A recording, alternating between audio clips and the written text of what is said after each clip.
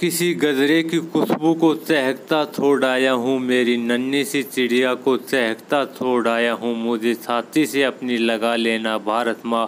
मैं अपनी माँ की बाहों को तरसता छोड़ आया हूँ। माँ भारती की रक्षा करते हुए तो गवा चूरू का लाडला शहीद हो गया।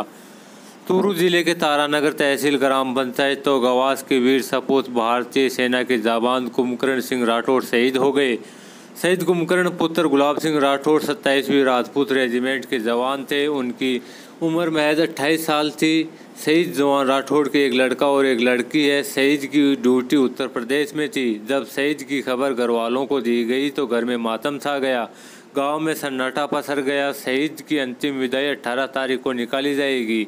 शहीद कुंभकर्ण राठौड़ को पूरे राजकीय सम्मान के साथ अंतिम विदाई दी जाएगी।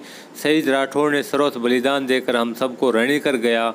छोटी सी उम्र में देश की, देश को अलविदा कह गया। अब वो कभी लौट कर नहीं आएगा। आएगी तो सिर्फ़ उनकी यादें आएगी। शहीद परिवार को सपोर्ट करें यह चैनल। शहीद परिवारों को समर्पित है। कृपया चैनल को सब्सक्राइब करें। आप सब हमारे परिवार के सदस्य हैं। धन्यवाद।